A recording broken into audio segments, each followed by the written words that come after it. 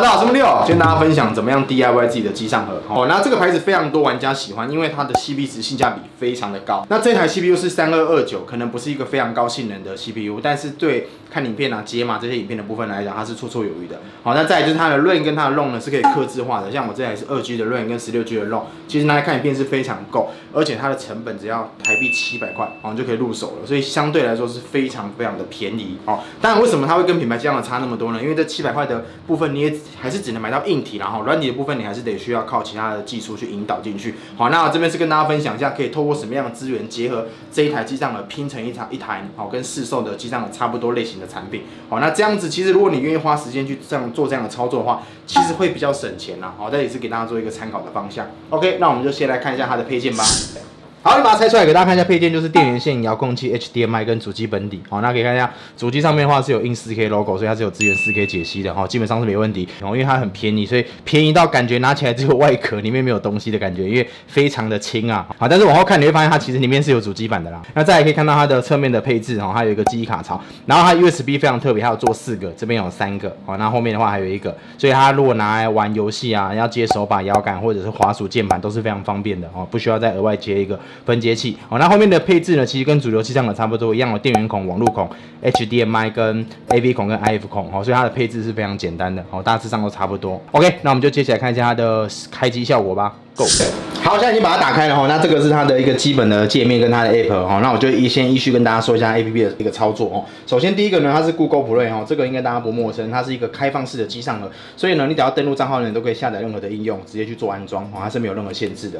OK，再来第二个是 Kodi 的部分哦，那 Cody 它就是比较呃，你可以上网抓一些讯号源啊、直播源啊，可以导进去，它可以变成这个娱乐的 App 哈。那这个部分我就不多做说明，大家可以上网稍微了解一下。但是很多人进到 Cody 可能会退出，因为他发现是英文的。好，那这边我也操作一下哈，先到这个齿轮的地方，好，教大家怎么改中文，好，选择这个 Interface 界面的地方，好，然后先在这个面板的地方呢，把字体，哦，这个字体的部分呢，先改成第二个字体，哦，它才有资源中文，好，那改好字体之后呢，好，我们等它跑向，好，再回到第二个选项，好，在地区语言的地方呢，再把它改到中文，哦，中文的是这一个，哦，Chinese 后面这个，哦，繁体的部分，好，我们把它点下去。好，跑一下它就变成中文了，有没有？好，那变成中文以后，你再上网去查一下怎么导讯号源啊、直播源，就可以在这边看一些比较特殊的影音的部分。OK，在第三个呢，video 部分它就是一个快捷的操作哈。你有习惯使用来看影片的 app，可以直接把它添加进去当做一个捷径哈。之后点开就自动打开那个 app。好，再来是 setting，哦，就是它的一个设定的选单。哦，这边给大家看一下，它是安卓九的版本。哦，这个大家可以上网去稍微了解一下它的一个硬体的一个相关数据。在 App 的部分呢，里面会有安装它的内建的 App，跟你所安装的 App 都会在这边直接出现。哦，你可以自己去操作，看你要安装什么。好，再是浏览器的部分。好，那浏览器操作其实我觉得算是还蛮顺畅的。哈，点开这个 App，这个浏览器是非常快的。然后呢，在遥遥控器上面呢有一个滑鼠键。哦，滑鼠键点开呢，你可以用这个滑鼠键有没有去控制一些好你想要点的东西。好，OK，我们再看一下下一个。好，那再下一个呢是音乐，好，跟 video 一样，它是一个快捷的操作，我可以把你平常听音乐的 app 加到这个地方来，好，可以快速的打开。好，最后一个呢，这个就是释放记忆体的一个快捷按键。好，那这台机器的 RAM 其实只有二 G 而已，我觉得拿来看影片是非常 OK 的，足够的。但是如果你要拿来玩游戏的话，还是比较建议选购四 G 以上的记忆体，可能会比较顺畅一点。然后这大家可以稍微留意一下。好，最后下面这一排呢，一样也是捷径的概念哈，点开呢，你可以把一些你想要常看的，比如说 YouTube 啊，还是什么之类的 app 啊，可以直接把它打到前面第一页上去，哦，直接选择以后呢，哦，退出它就会打。来到首页这边，哦，它的操作基本上整台机上的操作就是这样子。接下来跟大家说一下如何呢？哦，用透过合法的应用呢，我们去安装一个关于第四台的部分。哦，那我们就接着操作吧，Go。好，那我接下来会测试电视，会用到 JOY TV 这个 app。好，那它会厂商会提供我一个三天的试用账号，会一直持续提供给我。好，那我就想说，干脆放在网络上直接给大家测试好了。如果你有接触到，你可以直接去试用，没有关系，因为好东西就是跟大家分享。好，那我会把它放在 cdyleo.com 左斜 FRETV 这个页面上。好，你可以常常来看。好，那为什么要推荐它呢？不是因为它给我账号我就推荐它，而是因为它是一个真正跨平台的一个电视的 app，它是可以在 iOS 设备上面使用。哦，不管是 iPhone、iPad、笔电或者四代以上的 Apple TV，甚至至到安卓的手机、平板、机上的安卓 TV，通通可以安装哦。你家电视有安卓的功能，也可以安装进去。那它的好处呢，就是在于机上盒安装进去之后呢，它的账号密码是可以带着走的，你可以在手机上切换使用。那今天如果这个机上盒坏掉了，你也可以把这个账号密码带到下一台机上盒哦。跟品牌机上盒不同的地方就是它挂了就是得换一台新的，但是在这种应用上面是不会的，它是没有局限的哦，而且你可以任意的去切换你的设备哦，这是我觉得它比较实用的地方。OK，那接下来我就直接把它打开了，给大家看一下它的功能吧。好，这就是跨平台的登录界面，面不管你在 iOS、安卓机上和安装后的版本界面都会是这个样子。好，那目前我的提供的测试账号是 L E O 九二一零，那就是账号密码呢都输入一模一样的，按下登录就可以了。OK，好，这个外的总共有四大功能哦，就是电视、电影、电视剧还有回看的功能。那另外还有资源多画面，最多四个频道同时播放，然后节目表是可以下载的。然后呢，你可以一个账号的两个设备使用，所以像手机跟机上呢可以同时执行，有没有？或者是你跟朋友一起买一个账号，两个人一起用也是没有问题的。好，那我们先来看一下电视的部分哈，点进来的话，它会有各国的频道表，然后每一个国家的节目的频道，它的数量都会显示在最后面。好像台湾的话是一百五十二。好，那我们先看一下台湾的部分。好，点进来它的界面是这样子哈，左边呢是所有的频道表，右上角呢是现在目前频道的预览画面，下面呢是节目表。好，那可能节目表要停停一下，等它显示出来，好像这样明示它就会出现了，没有？我们点下去，右边呢就会切换到明示。好，那现在切过来了，没有？啊，下面就会有它的内容哦。那你可以做各种频道的切换，上面可以看到预览的画面。待你确认这个频道跟这个内容是你想看的时候，你再把它移过去，好，再把它放大，好，就可以直接做电视的浏览了。好，基本上的操作就是这样子，有预览跟频道的选择性。好，那。这边的话，顺便试一下哈，让它播继续播放哦。同时呢，我会打开手机的部分哈，手机同步执行是不会有问题的哈。给大家看一下哈，我们同时去执行手机上的电视。好，没有可以播放，好，一样点开，这样就可以直接做浏览。好，那顺便试一下多画面给大家看一下。好，那它多画面有二到四个频道，我先试两个就好。好，这样，然后你可以选择其他的国家的频道，我选香港。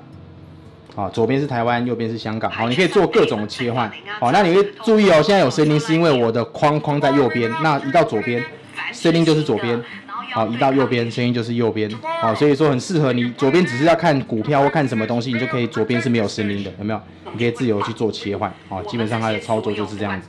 OK，所以你可以在手机上面执行，也可以在机上盒上面执行。好，简单来说就是这样子。好，那节目表下载呢，就在首页的地方。这个首页这边有一个 EPG，好，点开呢，哦，它会问你要下载哪里，哦，你可以按所有，哦点下去了，让它做一个下载。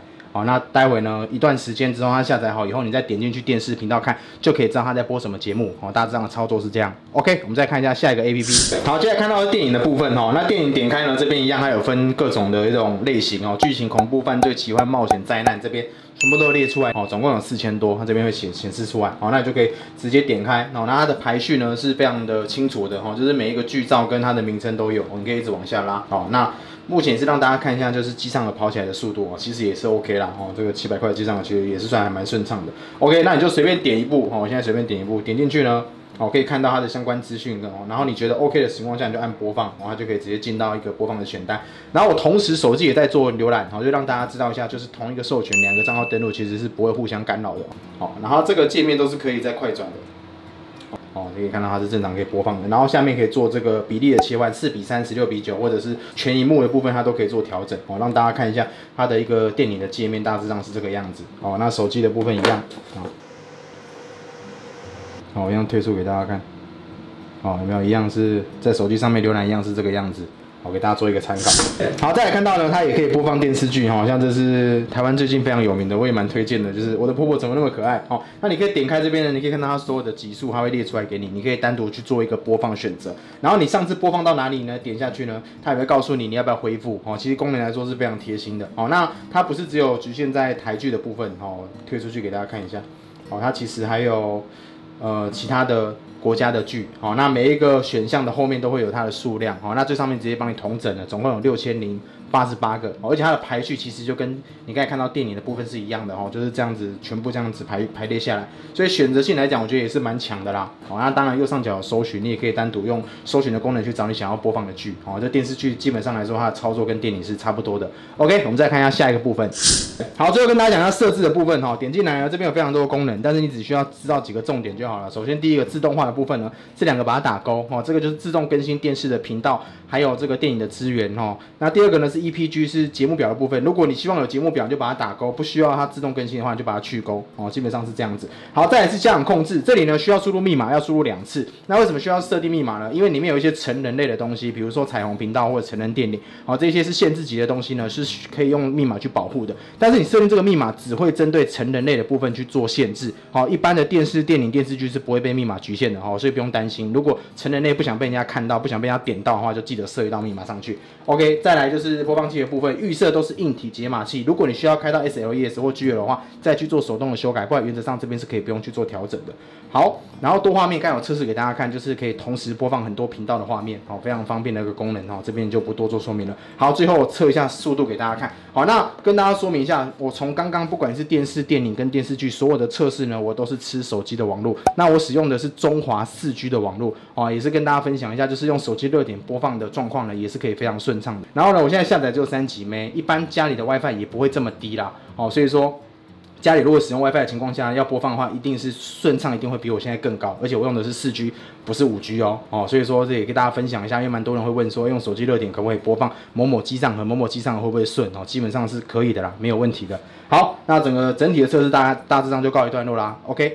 好，最后跟大家分享下价格吧。机上的部分就是台币七百，那应用的部分有分授权跟天数的不同，价格不一样，大家可以参考一下厂商的官网哈，可以去了解一下这个价格的定位，看你觉得值不值得。那不讨论价格，就便利性来讲，我觉得它是非常强的，因为在安卓跟 iOS 都可以用，而且不限制设备，你要在手机、平板、笔电、机上盒都可以安装，而且账号是可以带着走，可以做各种切换，也可以跟朋友一起使用。我觉得便利性来讲是很强的。好，那厂商有提供给我试用账号的权限，好，我可以提供给大家测试，这个是没问题。但是我本身是没有做。任何贩售的行为，所以我还是建议就是有就是关于付费后的其他的问题呢，直接找厂商。好，那就免费试用账号部分可以直接到网址上面去做参考。好，那希望今天影片有帮助到各位。好，影片到这告一段落啦，有什么问题欢迎大家留言给力哦。感谢各位的收看，下一次见，拜拜。